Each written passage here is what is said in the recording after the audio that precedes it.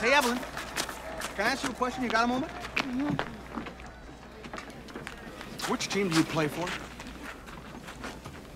Well, I- I'm a peach. Well, I was just wondering, because I couldn't figure out why you would throw home when we've got a two-run lead. You let the tying run get on second, and we lost the lead because of you. Now you start using your head. That's that lump that's three feet above your ass.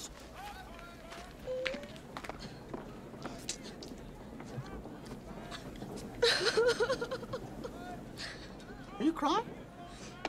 No. Are you crying? Are you crying? There's no crying. There's no crying in baseball.